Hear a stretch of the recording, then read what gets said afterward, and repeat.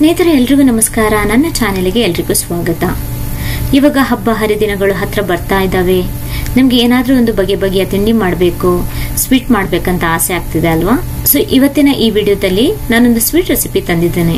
ಅದು ಗಸಗಸೆ ಪಾಯಸ. ಮಾಡೋಕ್ಕೆ ತುಂಬಾ ಈಸಿ ಹಾಗೂ ಅಷ್ಟೇ ಟೇಸ್ಟ್ ಆಗಿರುತ್ತೆ ಸೊ ಬನ್ನಿ ಈ ಗಸಗಸೆ ಪಾಯಸ ಯಾವ ರೀತಿ ಮಾಡೋದಂತ ನೋಡೋಣ.